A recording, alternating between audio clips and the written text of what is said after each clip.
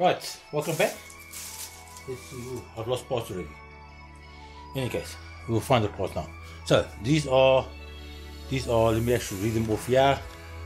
32 650s. So they are quite big. Compare them to let me get it 32 650. Please take your seats circle. Welcome to our channel. He's Fernando.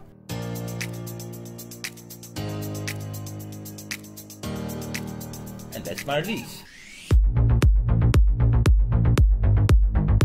Please join our Flying Nando Facebook group for more frequent updates.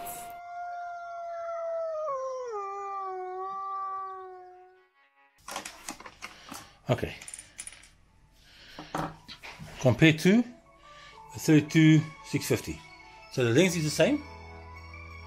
Okay, it's just this much thicker. So it's 32 millimeters by 65 millimeters. Don't know why they call it 650.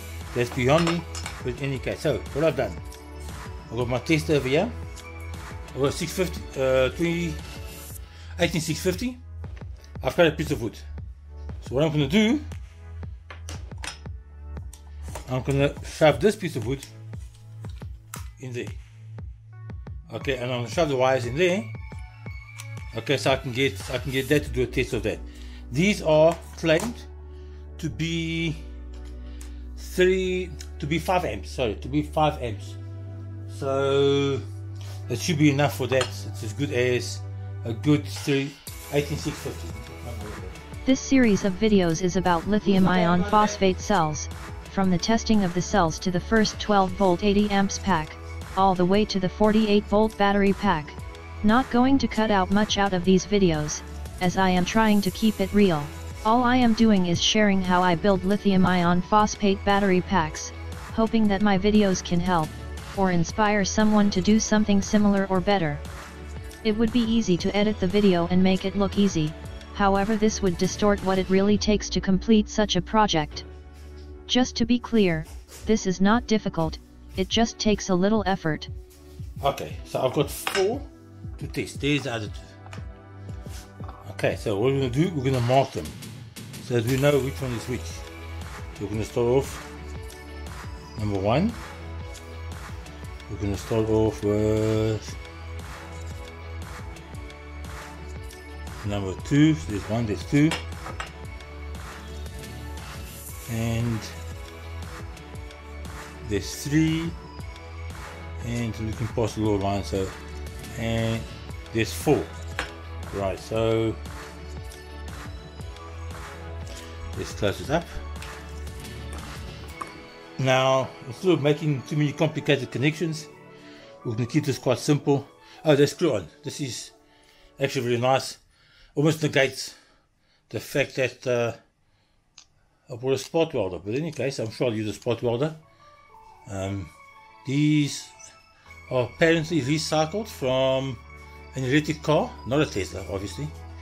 Uh, but there's some Chinese uh, electric car, which is fine, which I'm quite okay with. As long as the quality is good, it's uh, be okay. So, uh, these wires up here. Uh,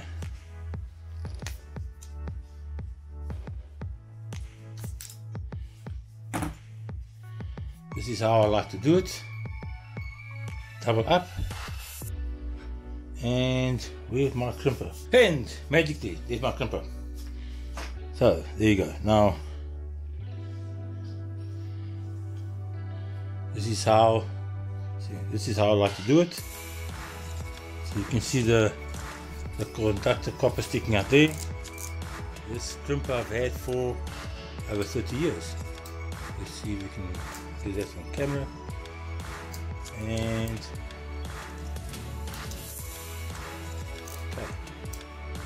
Like to crimp it where it hasn't been trimmed again. Maybe it's, maybe it's useless, maybe it's not.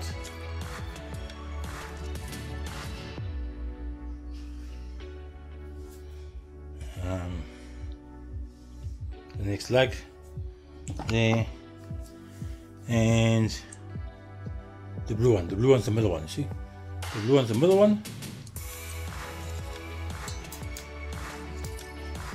catch it there push it in there so you can see the little uh, there's that one. There's that one and let's clip we go so don't clip it right the edge I'll clip it again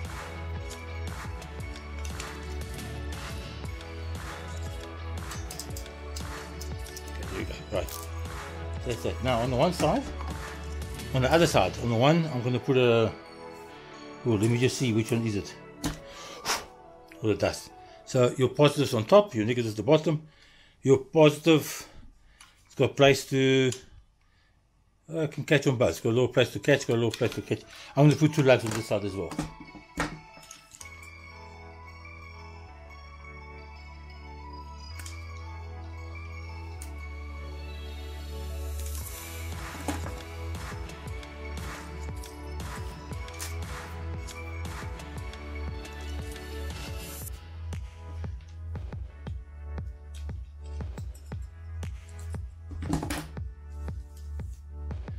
And here we go, to the student's a little bit skew, but it's okay, as long as it's uh, not going to be a long-term thing this.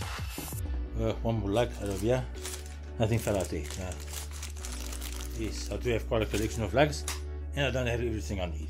Well, I buy as I go along, I buy little packets, I buy biggish packets, not little packets, then I've got it home for the next hundred years.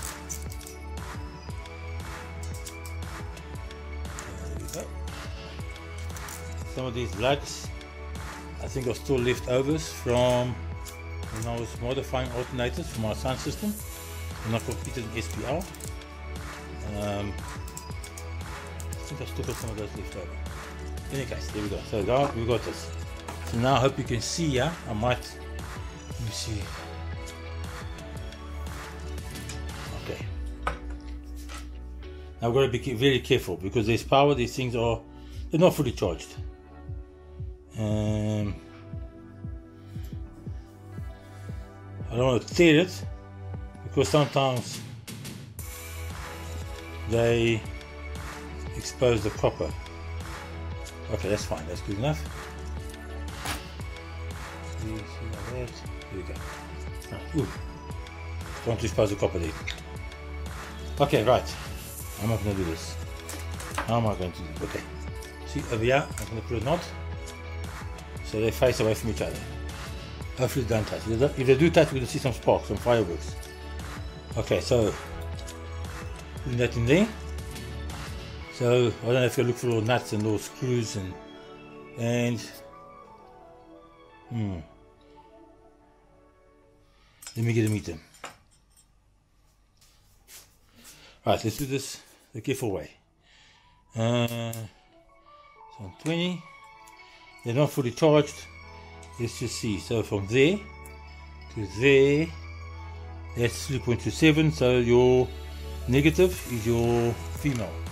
Oh, that's typical eh? so let's just change this. So we don't get confused on the other side. Um, here we go. Hope you guys being, I'm keeping it in screen. I'm not going to make it too tight because it's stop it's soft there and now I'm going to get another battery. Another battery and I'm going to put the positive on this side. There we go like that.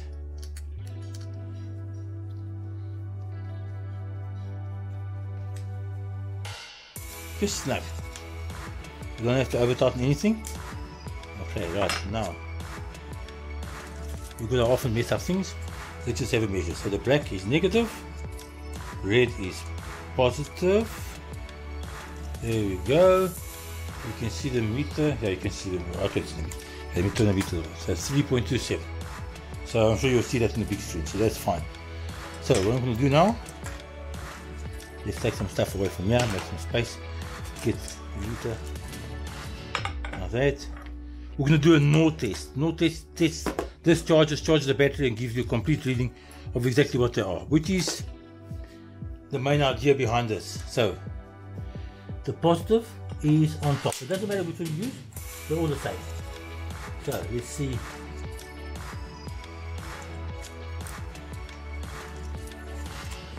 Let's see where we can get there. Okay, that's that. Making nice contact over there, so it looks like making nice contact. We bring the positive over this side. To the back, go. You can see, oh, so beautiful. So it's making contact. Now I need to put power to it. Plug in the power. You can see I haven't used it for a while. There we go. Plug in the power there.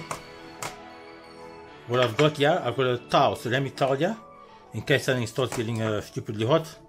Hopefully to prevent a fire. Right, let's go. Right. And now we're going to do a no test. Uh, it's upside down for me to see. And I can't read either way. So when you put it upside down, it makes it worse for me. So I can't read. Okay, right. This is, it's charging it, mode, uh, charge, no, fast test, no, no test. Okay, so let's bring a no test over there. I'll bring the camera closer so you guys can all see. So let's bring a no test. So what it's going to do is going to discharge, or charge it, discharge it, and then discharge again and charge again and give me a complete reading and I'll be filming that. So that's what we got. We got a piece of wood with the wires connected over there. The wires go around like that and come onto the battery. So there's nothing on that, on that end. There's nothing on that end. Okay, so I'm using that to connect. It's just easy instead of running around getting little screws I could get. But this just makes life so much simpler. And I'm going to test all of them and I'm going to write on them. And I'm going to give uh, I can't give a review because it is what it is. But um, I'll give you a report back on uh, what they look like. They're supposed to be 5 amps. I hope they are. The price is not bad. And then, uh, yeah, I won't be using my spot welder. I've got other stuff that's coming to spot welder. But yes, guys, thanks very much for watching. Uh, oh yes, no, don't go away. Please subscribe. And I'll make it part of this video, the results. I'll put the results as part of this video. Thanks very much. Cheers. Here are some of the results of the lithium iron phosphate cell test. At the end there is a sneak preview of the first battery pack, all finished up, and a quick measurement of the voltages. I have already started working on the video of the first battery pack, it just needs to be finished off. Thanks for watching. Please like, share, and subscribe. Hmm, oh, are you saying best?